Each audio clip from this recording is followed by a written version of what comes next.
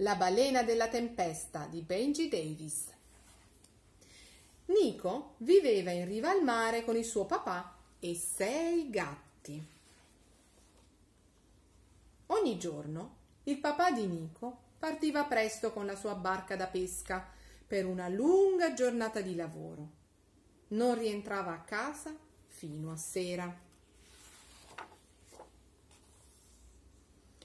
Una notte, intorno a casa, infuriò una terribile tempesta. Al mattino Nico andò in spiaggia a vedere cosa si fosse lasciata alle spalle e camminando lungo la riva vide qualcosa in lontananza.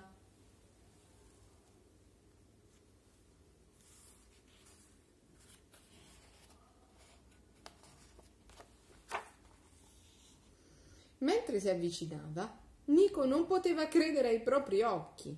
Sulla sabbia c'era una piccola balena portata fin lì dal mare.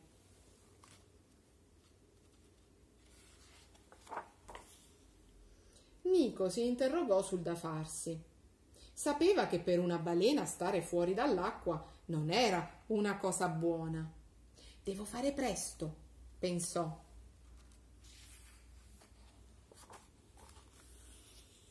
Nico fece di tutto per far sentire la balena a casa.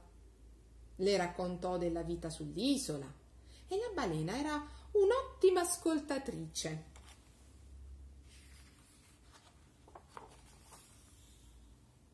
La notte si avvicinava e si stava facendo buio. Nico aveva paura che il papà si sarebbe arrabbiato trovando una balena in bagno.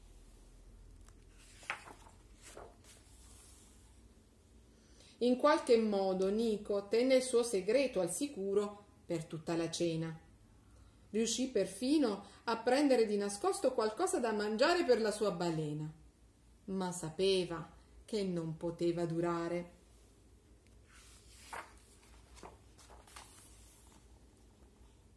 Il papà non si arrabbiò. Era stato così occupato da non accorgersi che Nico si sentiva solo. Però disse che dovevano riportare la balena di nuovo in mare, al suo posto.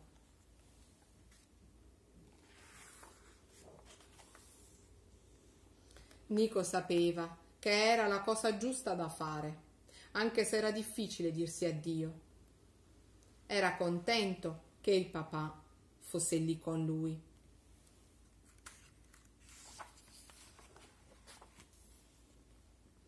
Nico pensava spesso alla balena della tempesta. Sperava un giorno, chissà, il prima possibile,